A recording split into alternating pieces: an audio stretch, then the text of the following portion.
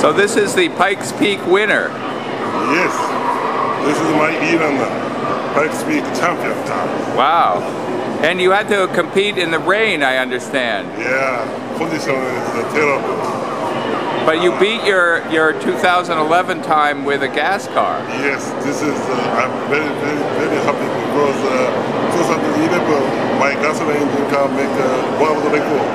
This year, this electric vehicle, quicker than the 2011 gasoline engine uh, you know, Wow, amazing. champion car. Great. Let's just take a quick look. It's all carbon fiber. It has like a 50, uh, 50 um, kilowatt hour lithium ion battery pack.